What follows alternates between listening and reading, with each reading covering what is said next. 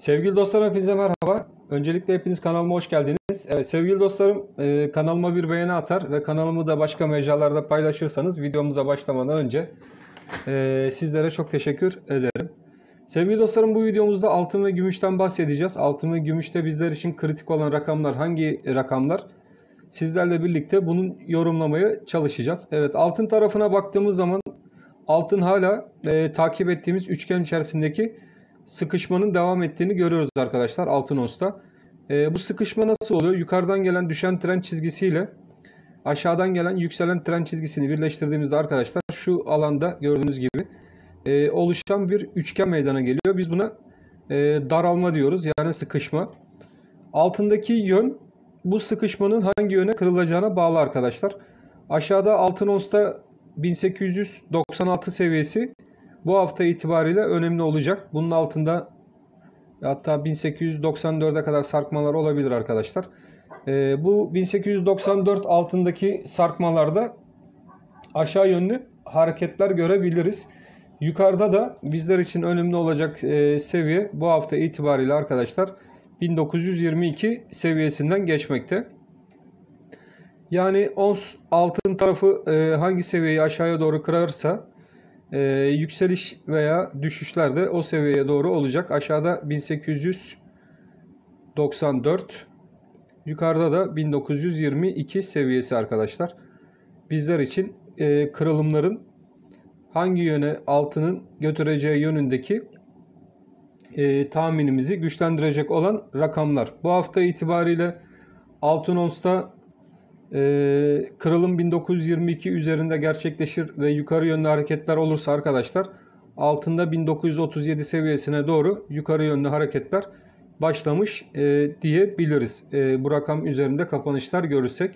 E, bu da yukarıda 1900 ilk etapta bize 58 e, seviyesinin kapısını açmaya doğru bizi götürecektir diye tahmin etmekteyiz. 1894 e, altındaki kapanışlar Arkadaşlar altında tekrar 1871 ve 1835 direncine e, destek seviyesine doğru e, bu sefer de aşağı yönlü hareketleri tetikleyebilir. Yani altında yön şu an kararsız. Ons tarafında yön kararsız diyebiliriz. E, bu kararsız tutumun da e, üçgenin hangi yöne kırılacağını bağlı olarak teknik açıdan söyleyebiliriz arkadaşlar. Verdiğim seviyeleri altın ons tarafındaki arkadaşlar dikkatle takipte kalsınlar. Buradan hemen gram altın tarafına geçelim. Gram altında bizler için önemli olacak seviyeler hangi seviyelerde sizlerle birlikte bunu bulmaya çalışalım. Gram altın e, dolar TL bazlı olarak arkadaşlar ons altına nazaran olumlu bir kapanış yapmış gözükmekte. Fakat 486 desteği gene bu hafta bizler için e, çok önemli olacak arkadaşlar. Çünkü 486 e, desteğinin önemi yukarıda gram altını tekrardan 493 seviyesine doğru taşıyacak olan hareketi başlatacak olan e, rakam diye düşünebiliriz. E, bunun üstünde de gene 499 seviyesinde önemli bir e, direnç bölgesi gram altında gözükmekte.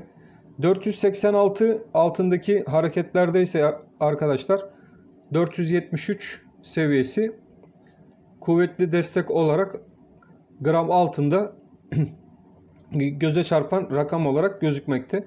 Kapanış itibariyle 484 e, ara direnci üzerindeki her hareket e, bizlerde gram altının yukarı yönlü hareketlerini tetikleyebilir e, şeklinde de yorumlayabiliriz. Yani 484 üzerindeki her kapanış gram altında tekrardan 489 ve 492 e, seviyelerine doğru yukarı yönlü hareketlerin devamını getirecektir diye düşünmekteyiz arkadaşlar. Altın e, gramının da tekrardan olumsuz bir hal alıp e, aşağı yönlü hareketleri başlatabilmesi için de 484 altında kapanışlar görmemiz şart. Eğer ki 484 e, altında kapanışlar görmeye başlarsak da arkadaşlar bu sefer aşağıdaki destek noktaları olan 481 ve 479 ara dirençleri takibimizde olacak. Yani buradaki 481 ve 479 bölgesinde bulunan ara destekleri altın onsta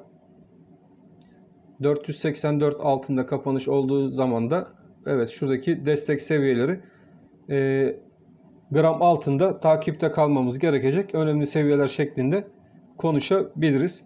Gram altına da gene dolar TL bazlı baktığımız zaman arkadaşlar e, desteği gram altına devam etmekte doların.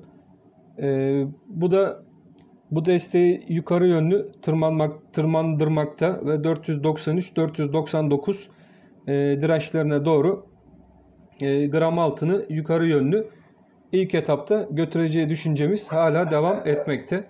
Gümüş tarafına da bakalım. Gümüşte bizler için e, önemli seviyeler hangi seviyelerde? Ons'la başlayalım. Gümüş onsta da gene arkadaşlar e, dolar onsun şey altının onsunda olduğu gibi e, burada da bir yukarıdan gelen düşen trend çizgimiz mevcut ve aşağıdan gelen yükselen bir trend çizgimiz de bunu desteklemekte. Yani burada da bir e, sıkışma devam etmekte arkadaşlar. Aynı altın onstaki gibi. Evet bu üçgendeki kırılım gene gümüş ons tarafına da yön verecektir. O yüzden e, gümüş onsta da bizler için e, önemli olacak kırılımı destekleyecek bir seviye. E, yukarıda 24.72 seviyesi arkadaşlar. 24.72 seviyesi üzerinde gümüş onsta kapanışlar gelmeye başlarsa bu sefer e, gümüş onsta da yukarı yönlü hareketlerin tetiklenebileceğini e, söyleyebiliriz. Bizler de gümüş e, ons tarafında arkadaşlar gene 24.72 üzerinde kapanışları takipte kalacağız. E, böyle kapanışlar görmeye başladığımız zaman da tekrardan e, gümüşün ons tarafında bakın şuradan aşağıdan gelen 24.72 seviyesini yukarı yönlü kırdığı zaman tekrardan yükseliş hareketinin e, devamı başlayacaktır ve bu hareket 25.83 e, direncine doğru ilk etapta e, gümüş onsu atmasını beklediğimiz rakamı bize getirecek. 24 e, 25.83'ün önemi de arkadaşlar eğer e, burada da direnci kırabilir ve 2 günlük bir kapanış yapabilirse buradan tekrardan gümüş ons da bize 27 dolar seviyesini e, bize tekrardan açacaktır diyebiliriz ki gümüş onsun hareketlerinin tekrardan yukarı yönlü çevirebilmesi e, amacıyla. Gümüş grama da hemen bakalım. Gümüş gramda e, gümüş gramda yükseliş trendini başlatan hareket 6.08 dedik arkadaşlar. Bu 6.08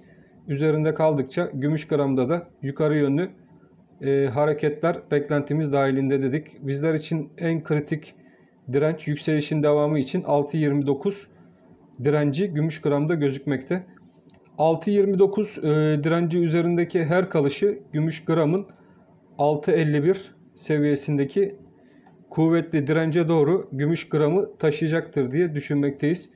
E, burayı da kırmayı başarabilirse 6.65 seviyesindeki e, bir diğer üst band kanalının direnci olan 6.65 seviyesine doğru e, gümüş gramı yukarı yönlü taşıyabilir.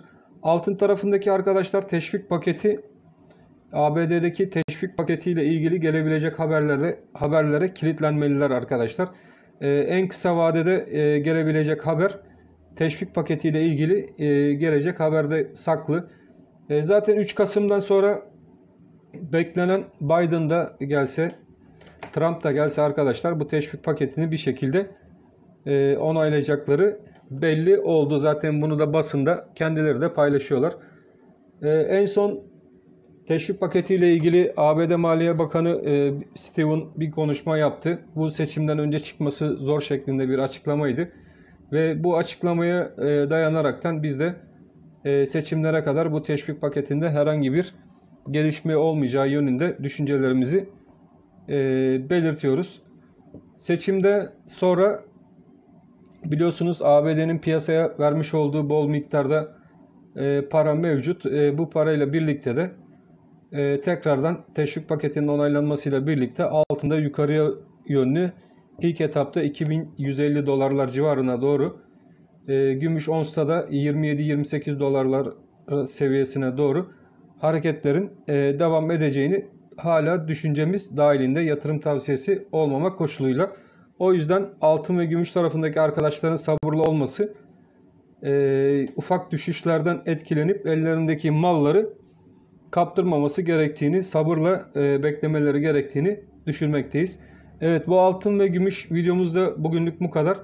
Hafta içinde tekrardan kapanışlara göre e, yönü tekrar belirleriz ve yeni videolarımızda sizlere yardımcı olmaya çalışırız. Arkadaşlar bu kanalımız hiçbir zaman bir alt sat kanalı değildir. E, bunu hiçbir zaman unutmanızı istemiyorum. E, alt sat şeklinde tavsiyelerde bulunan kanallar var. E, fakat bizim kanalımız sadece size tavsiye niteliğinde. Yani aşağı yönlü kırılımlarda hangi seviyeler gelebilir? E, indikatörler bize hangi seviyeleri gösteriyor? Bu şekilde yardımcı olmak, strateji kurmanız e, açısından sizlere yardımcı olmak amaçlı bir kanaldır. Asla bir al-sat kanalı e, şeklinde bu kanalı düşünmemenizi sizlerden rica ederim. Aksi takdirde e, bu kanalları bu şekilde düşünürseniz zarara uğrayabilirsiniz arkadaşlar. O yüzden sizleri uyarıyorum. Ben hepinizi çok seviyorum. Hepiniz Allah'a emanet olun. Hoşçakalın arkadaşlar.